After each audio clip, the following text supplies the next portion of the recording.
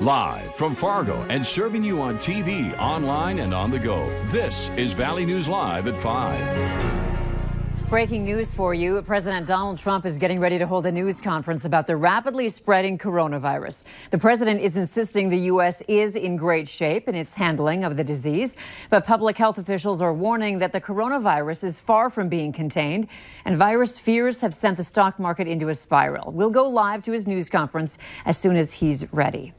More breaking news for you. Police in Milwaukee say they have multiple casualties after an active shooter situation this afternoon. Here's a live look. According to a police source, one suspect is down with multiple casualties. That suspect is a former employee. Police are searching for other potential suspects. The Molson Coors complex is on lockdown. Employees were notified by text message and email about the incident. A large multi block perimeter was being set up in the area. Stick with Valley News Live as we continue to follow this story. The Fargo Police Narcotics Bureau says a tip led them to a big drug bust in the metro. Officials say they received information about people selling marijuana and ecstasy in the 1800 block of 39th Street South in Fargo. Police used a canine and it detected the odor of narcotics on a garage at the apartment. Authorities got a search warrant for that apartment and then seized nearly $3,000 in cash, along with marijuana, ecstasy, and hallucinogenic mushrooms. Police also arrested 24 year old Kaylee Helgeson, who is now facing multiple charges. It's quiet, but we won't be able to shake the cold just yet. Let's find out when that will happen with Hutch in your No Wait Weather Planner. Hutch? Some flurries accumulated across the valley as we began our day as well. Those long gone, some blue skies as we head into the evening hours as snow chances are both to the east and west of us for now. Some light snow showers in the central Dakotas. The evening looks pretty quiet. Temperatures right now are in the teens and not far from the single digits in northeast North Dakota. Your planner in Fargo shows lower teens for most of the evening. The wind, as promised yesterday, very light throughout our evening. So you take a look at Grand Forks. We'll be down in those lower single digits as we head to bed tonight. It does look like there's another chance of a few flakes, Andrea. I'll have details on that, and we'll look ahead towards some much milder weather here in just a couple of minutes. All right, thanks, Hutch. I don't know where they're justifying all this money for a, a lot. The owners of some local mobile home parks are making news again. We first told you about Haven Park Capital last year and how they have a history of raising the rent on their properties. Well, this time, Haven Park is charging some new fees and giving their residents little time to come up with the money. They reached out to our whistleblower hotline, those residents, telling Valley News Team's Joshua Peguero what's going on. Scott Lanning says he moved to Courtside Mobile Home Park in Fargo because that's all he could afford with his disability check. I've already canceled two hip surgeries, like I guys I told you, and they put me in the hospital with a, a nervous breakdown. I mean, what are these guys trying to do? Residents here got a notice Tuesday night that Courtside was adding a $45 utility and a $9 trash fee, which had been included in the rent before. On my screen door yesterday, a bill Lanning says it was a punch in the gut. They're really hurting, hurting me. They're, it's more of a push out, is what they're doing. They're trying to push us all out. Haven Park Capital, a company based in Utah, manages Courtside and two others in the metro Brookside Mobile Home Park and Riviera Heights. Since taking over, Haven Park has raised the rent, increasing it by 45 bucks this past October. I can't afford to live in any apartment or anything anymore.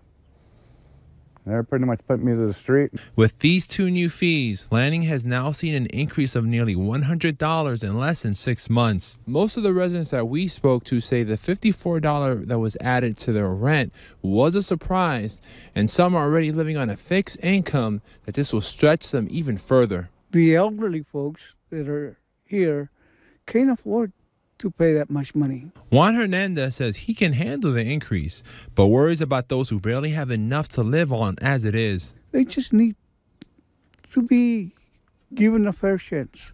You know, and $45, it's way too much for an individual, for one individual household. Hernandez says he now fears backlash from management for speaking up, but believes it's the right thing to do. In Fargo, Joshua Peguero, Valley News Live. Haven Park had planned to impose those new fees on March 1st, but after our phone call, the company pushed it back to April 1st. If you need help with an issue in your community, call our whistleblower hotline 237 6576 and leave your tip. A member of our investigative team will get on the case and go to work to expose the truth.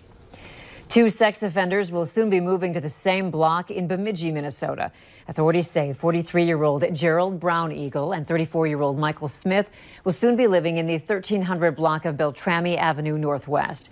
Both currently live in Bemidji, but are expected to move within the city on Friday. Both are high risk sex offenders who have been convicted of raping children.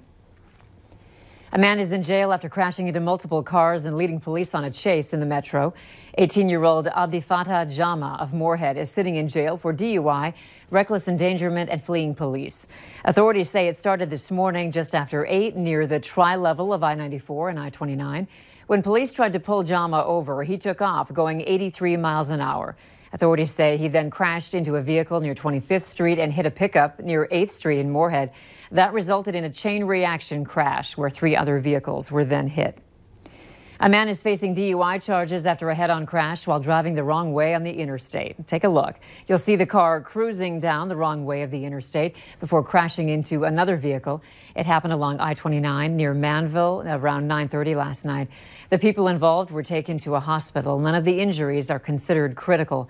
The driver, 34 year old Adam Bergman of Alvarado, Minnesota, is now facing DUI charges and is in the Grand Forks County Jail.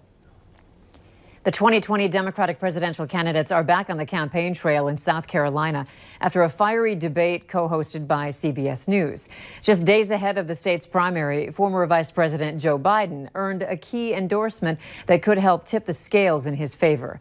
Michael George reports from New York. Hours after bashing each other on the debate stage, six Democratic candidates appeared at the National Action Network prayer breakfast in South Carolina. I'm ready to go toe to toe with this president. It is a moral imperative that we defeat the most dangerous president in the modern history of this country. The candidates are crisscrossing the state, fighting for every last vote before Saturday's primary. This Saturday, it is up to you. Get in this fight. I'm asking for your vote. We know we have to win in the middle of the country. We know we have to win in states like yours. A key to victory in South Carolina is winning over black voters, who make up around 60% of the Democratic electorate in the state. Today, people are talking about a revolution. What the country's looking for are results. Today, former Vice President Joe Biden scored a key endorsement from Representative James Clyburn, the highest ranking African American in Congress. I know Joe. We know Joe. But most importantly, Joe knows us. Biden maintains a narrow lead in South Carolina over national frontrunner Bernie Sanders, who took plenty of heat from his opponents at the debate. Bernie and I agree on a lot of things, but I think I would make a better president than Bernie. I like Bernie. We came in together to the Senate, but I do not think that this is the best person to lead the ticket. One person who won't be on the ballot in South Carolina, former New York City Mayor Mike Bloomberg. But he will be next week on Super Tuesday when 14 more states hold their contests. Michael George, CBS News. Today, House Speaker Nancy Pelosi indicated she would be comfortable with Bernie Sanders as a potential Democratic nominee. Defense Secretary Mark Esper says next year's defense budget falls short of the Pentagon's needs. Appearing before the House Armed Services Committee, Esper says the $705 billion budget for next year is only slightly more than the current budget. Esper says the essentially flat top line in the Pentagon budget will lead to tough funding choices, including the allocation of nearly 4 billion for a southern border wall. The department's total FY21 budget request is $705.4 billion. This represents a minor increase from the FY20 enacted amount of 704.6 billion, but does not keep pace with inflation. Given this flattened funding level, we were required to make many tough decisions to ensure our highest priorities were adequately funded. Esper also stated that the president has determined that we have a national emergency on our southwest border, and in order to deal with that emergency, the U.S. needs a barrier system. And don't forget, you can make a difference by donating your airline uh, air miles rather to our Wishes in Flight campaign this Thursday. We'll have a story tonight on Valley News Live at 6 and more stories throughout the week.